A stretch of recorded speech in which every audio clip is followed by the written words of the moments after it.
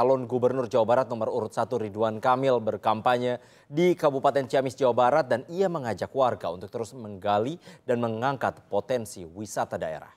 Ridwan Kamil datang ke lokasi Situangi di Kecamatan Kawali Ciamis dan menyapa warga sekitar pada selasa siang. Dalam kampanyenya kali ini Ridwan Kamil mengajak warga untuk terus meningkatkan sektor wisata di Ciamis agar menjadi lebih baik. Calon Gubernur Jawa Barat nomor urut satu ini juga menyempatkan mengambil gambar desain Situangi agar bisa menjadi objek wisata yang menjanjikan bagi perekonomian warga sekitar.